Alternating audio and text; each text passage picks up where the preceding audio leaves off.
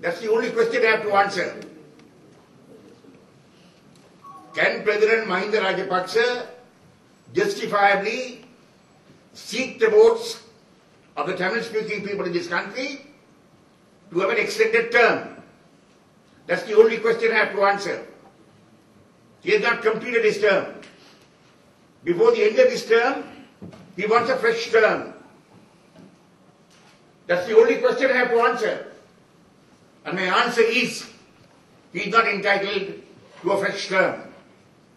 Because his performance in the past four years and the discussions I have had with him and my colleagues have had with him don't give us the confidence that he is entitled to a fresh term. If he is not entitled to a fresh term, and we want to make a contribution in regard to that matter, what can we do? What should we do? The only thing we can do, and the only thing we should do, is to support his rival candidate who will not give him, who will not allow him to achieve a second term. And that's precisely what we are doing. Thank you.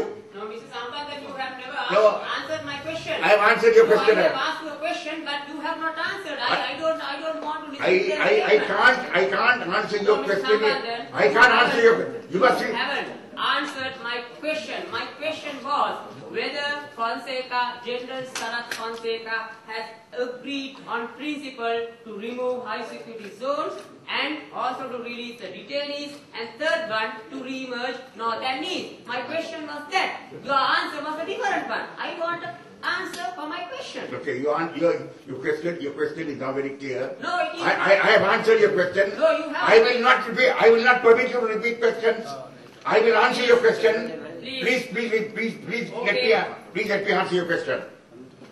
On the question of um, high security zones, while President Mahinda Rajapaksa has been evasive and not given a clear answer regarding that matter, he might announce in Jaffna tomorrow or day after tomorrow that high security zones are being dismantled because uh, we have talked about this even in Parliament yesterday. But the answer he gave us was, we'll do that quietly. I can't do these things now. We must do it in a phased way. But General Sam Fonseca seemed to appreciate that there was some uh, legitimacy in my argument that when the LTT, fire, LTT is not there, the artillery is not there, the fire is not there, that people must be allowed to go back and resettle in those areas. The response he gave me was much more reliable than what was mentioned to me by uh, President Mahinda Rajapaksa. In regard to uh, the Nor- Northeast merger, as I told you, I hold uh, President Mahinda Rajapaksa responsible for the de-merger.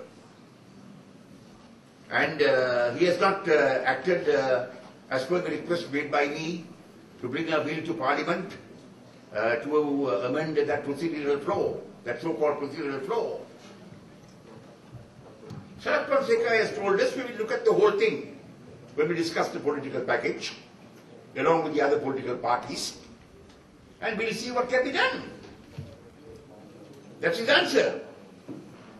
In regard to the detainees, I must say that both parties are in agreement. Whoever can be released must be released, and uh, that will be done in due course of time. The only difference is that President Mahinda Rajapaksa can do it now. Sarath Fonseca can't do it now. So we'll have to wait and see. Right, next question.